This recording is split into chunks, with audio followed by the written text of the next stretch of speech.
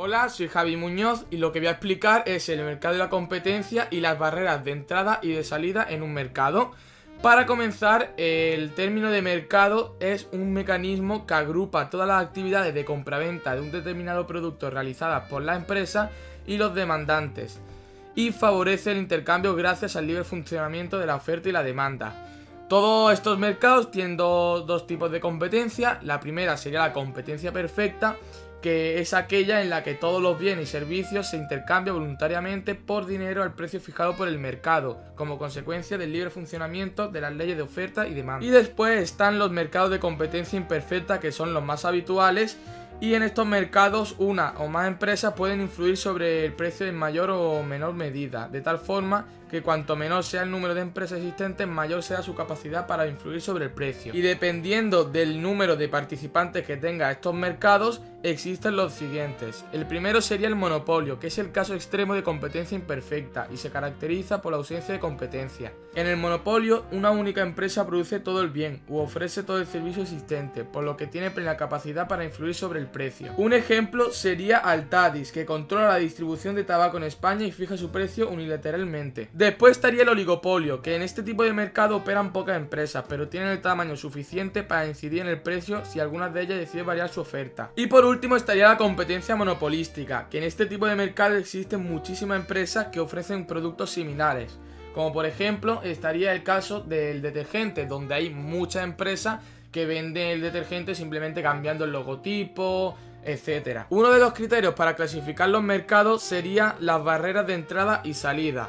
Las barreras de entrada son factores que impiden o dificultan la entrada de nuevas empresas a un mercado, y las más habituales son las ventajas en costes, que es cuando una empresa es capaz de producir más barato que cualquier otra de su sector, y también podrá ofrecer un precio de venta al público más bajo. Después estaría la diferenciación del producto, que es cuando, cuando la calidad, el diseño o la función de los productos son tan significativos que fidelizan al consumidor. Y por último estaría las inversiones de capital, que son los ciertos tipos de mercado que necesitan inversiones tan importantes que constituyen en sí misma una barrera de entrada muy difícil de salvar. Y después estaría las barreras de salida, que son los costes que tendría cualquier empresa por abandonar un determinado mercado o las pérdidas ocasionadas por no recuperar parte de lo invertido. Buenas a todos y a todas, compañeros y compañeras. Soy Cristóbal y a continuación explicaré uno de los tipos de mercado, en concreto el mercado de competencia perfecta. Lo más relevante de este mercado es la facilidad de acceso y las características son 6. Libertad de entrada y salida, muchas empresas, mercado homogéneo, empresas precio aceptantes, fuerte competencia y transparencia de precios. A continuación voy a dar la definición de cada una de estas características y además paralelamente la relacionaré con eh, un ejemplo práctico del mercado de tomates. Eh, para empezar, la libertad de entrada y salida. No existen restricciones legales para ejercer la actividad y las inversiones en bienes de producción, bienes como las máquinas, ordenadores, terrenos locales o dinero. Son pequeñas estas inversiones. Del mismo modo, también son reducidos los costes de abandonar o reconducir la actividad. Por ejemplo, el caso práctico, en el que se ve mucho más claro eh, sobre el mercado de tomate. La libertad de entrada y salida en este mercado de tomate pues cualquier agricultor puede producir tomates sin realizar grandes inversiones ni incurrir en demasiados gastos, así como cambiar de cultivo sin dificultad. La siguiente característica, muchas empresas. La libertad de entrada hace que muchos productores o empresas entren en el mercado cuando hay beneficio. Como se trata de un cultivo fácil, de bajo coste, son muchos los agricultores que pueden producir tomate. El mercado homogéneo, tercera característica. No hay diferencia en la calidad, el diseño o las prestaciones de los productos de las distintas empresas. La marca o la garantía del fabricante no son relevantes a veces ni siquiera figuran en el embalaje. Ninguno no es, eh, es indiferente la marca, por ejemplo, de una verdura, ¿no?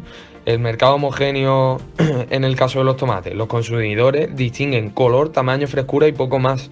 No importa que los tomates sean españoles, extranjeros, de Valencia o de Almería. Cuarta característica, empresas precio aceptantes. Como las empresas son tan pequeñas, ninguna puede influir significativamente en los precios, que se establecen según el libre funcionamiento de la oferta y la demanda. Estas empresas solo pueden decidir qué cantidad producir en función del precio que los consumidores están dispuestos a pagar. Por esta razón se denominan empresas precio aceptantes. Es decir, en el mercado de los tomates, otra vez, las empresas precio aceptantes. Como los tomates de un agricultor son iguales a los de los demás, nadie puede exigir un precio mayor al que ofrecen los otros. Hay que ajustarse al mercado, a la ley de oferta y demanda para fijar ese precio. Fuerte competencia. Quinta característica. Como el producto no está diferenciado, es fácil entrar en el mercado y hacerse con una cuota, con una clientela de, ese mercado. Pero también es fácil perderla. Como la publicidad no es demasiado efectiva, que, que, anunciar si la marca o la garantía no son importantes en el mercado de tomate, de verdura o de cualquier fruta las empresas suelen competir en precios y tratan de reducir costes. La fuerte competencia en este mercado de tomate. Además, dada la ausencia de diferencia significativa entre un producto y otro, los agricultores suelen competir en precio, el factor más relevante para los consumidores a la hora de comprar.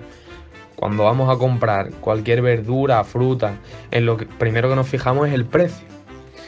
Sexta y última característica, transparencia de precio. Volvemos a repetir, el precio. En este tipo de mercado, tanto vendedores como compradores manejan toda la información sobre los, precios a los que venden los productos. Quien trata de vender sus productos a un precio demasiado alto se arriesga a no venderlo. Es decir, todos los agricultores saben a qué precio y condiciones se están vendiendo los tomates en los mercados. Por lo tanto, si ese precio se ve desajustado eh, eh, por el comprador, se arriesga a eso, a no venderlo. Así que esto es todo sobre el mercado de competencia perfecta. Eh, poco más que añadir. Hemos visto paralelamente, como he dicho, junto a cada característica, el caso práctico de un mercado de tomates, que sería un mercado de competencia perfecta. Un saludo a todos y a todas. Hola, muy buenas. Mi nombre es Adrián López y dentro del tema tipo de mercado voy a explicarle el punto 4, que es la competencia monopolística.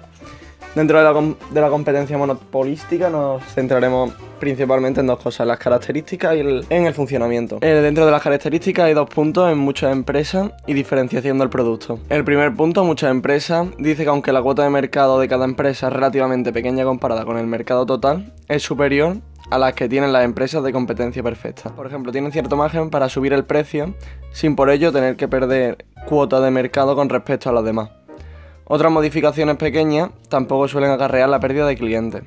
Cambiar el logo o el envase, por ejemplo. Tenemos un ejemplo muy claro en una marca muy conocida de ropa como puede ser Adidas, que ha cambiado el logo varias veces y aún así no ha perdido clientes. Después llegamos al punto de diferenciación del producto, que también es una barrera de entrada. Los productos satisfacen la misma necesidad, pero no son sustitutivos perfectos los unos de los otros, puesto que hay diferentes calidades, diseños, marcas, etc.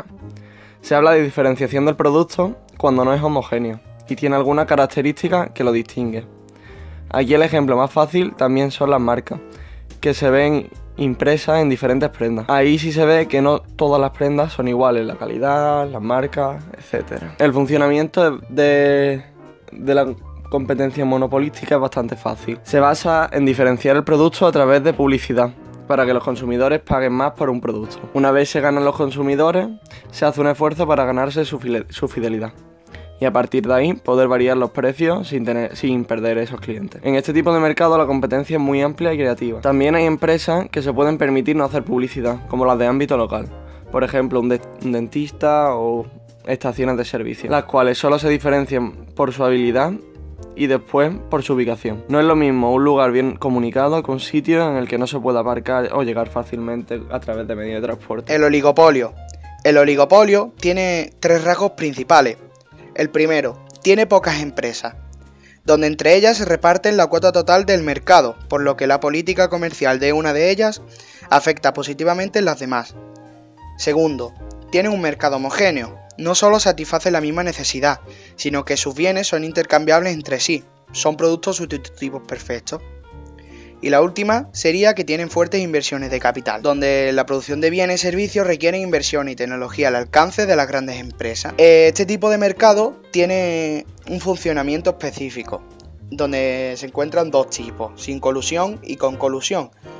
Hay que tener cuidado, porque hay gente que en vez de colusión dice conclusión, y eso no es así, sería colusión. La colusión es cualquier acuerdo que menoscabe la libre competencia entre empresas. La primera, sin colusión, las empresas determinan los precios en función de lo que esperan vender y de las reacciones de sus competidores. Hay tres estrategias. 1. Políticas comerciales de anticipación. Cada empresa trata de adivinar las acciones de sus competidoras para actuar en consecuencia. La segunda sería que mantienen una guerra de precios. Si una empresa reduce el precio de venta y las demás no lo hacen, obtendrá más beneficio a costa de las otras. Pero si el precio baja proporcionalmente en todas las empresas, los que son favorecidos son los consumidores. Por ejemplo, las compañías telefónicas en España la mantienen porque dan regalos y promociones para captar clientes. Mantienen un liderazgo de precios donde la empresa líder es la que fija el precio y las condiciones de oferta, y estas son aceptadas sin necesidad de negociación por las demás empresas. Por ejemplo, la gasolinera, Repsol domina porque tiene más servicio y marca la pauta de las demás, aunque actúa casi como un monopolio, porque sabe que las otras imitarán su política comercial, pero puede ser sancionada si perjudica al consumidor con precios altos. Eh, este tipo de funcionamiento tiene un problema que es que si hay una guerra de precios puede provocar el hundimiento de beneficios y no hay siempre una empresa oligopolista que domine para liderar los precios. El segundo tipo de funcionamiento sería con colusión. Cuando las empresas no compiten, sino que forman una agrupación informal de ellas conservando independencia, donde se asocian para disminuir o eliminar la competencia del mercado. Actúan como un monopolio de varias cabezas, donde el consumidor es perjudicado. Esta agrupación adopta dos formas. La primera sería competencia sin precio. Compiten en diseño, calidad, pero siempre respetan un precio acordado previamente. Y por último, el reparto del mercado, donde puede dividirse en partes iguales o zonas geográficas. También puede pactarse cuotas de producción para cada empresa. Hola, yo soy Seba y yo voy a explicar en qué consiste un monopolio. Empezar con monopolio es cuando una única empresa cubre toda la demanda y goza de plena capacidad de qué y cuánto producir. O dicho de otra forma, el monopolio es una estructura de mercado donde existe un único oferente de un cierto bien o servicio es decir, una única empresa domina todo el mercado de oferta. El origen de este mercado son sus peculiares barreras de entrada. Las barreras de entrada a un mercado son obstáculos de diversos tipos que complican o dificultan el ingreso a un mercado de empresas, marcas o un producto nuevo. Hay varios tipos de barreras de entrada. El primero sería acceso en exclusivo a un recurso donde la empresa que controle un factor de producción imprescindible para obtener un bien o un servicio será la única capaz de ofertarlo. El segundo sería existencia de derechos legales que se pueden eh, clasificar según tenga un origen privado o público. El primero sería patentes, que una patente es un derecho que proporciona el Estado a una invención y hace que pueda explotarse a otros países si opta por no explotar la patente, pueda venderla o ceder los derechos a otra empresa para que ésta la comercialice bajo una licencia. Un ejemplo puede ser los caramelos chupa chup o una fregona. Después están las concesiones administrativas, eh, que consiste que a cambio de un pago y de que se cumpla una serie de condiciones, que garantice el buen funcionamiento de una actividad, el sector público cede temporalmente la explotación de ese derecho a una, empresa privada.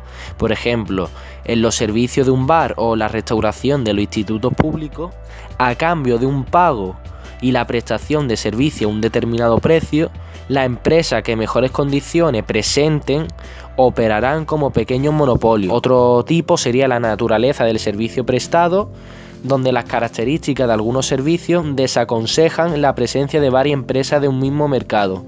Esto se entiende mejor eh, con un ejemplo que puede ser el suministro de agua o luz es más eficiente si una única empresa presta el servicio, puesto que la existencia de más compañías supondría un despifarro de recursos. Y el último tipo sería ya la ventaja en coste, que esto es cuando una empresa produce un coste inferior que sus competidoras, pues obviamente dominará el mercado. También debemos saber el funcionamiento de un monopolio. El funcionamiento del monopolio depende de lo elástico que sea la demanda. En cuestión de bienes con demanda muy inelástica, donde bienes que son de primera necesidad y tienen poco o ningún sustitutivo. Eh, un ejemplo puede ser el caso del tabaco, donde a pesar de la prohibición de fumar en lugares públicos y los cigarrillos de vapor o parches de nicotina, muchos fumadores aceptan la subida del precio porque para ellos eh, no pueden prescindir de su necesidad de fumar ni sustituirla. Y la segunda cuestión serían bienes con demanda elástica, que sería totalmente eh, lo contrario de la anterior, donde eh, esta es un bien prescindible pero que admite una sustitución. un ejemplo puede ser los sellos postales eh, que si sus precios no fueran lo suficientemente asequibles, la gente dejaría de enviar cartas y postales, ya que los consumidores pueden sustituir las comunicaciones postales por mensajes de texto, llamadas telefónicas o fotos a través del teléfono móvil.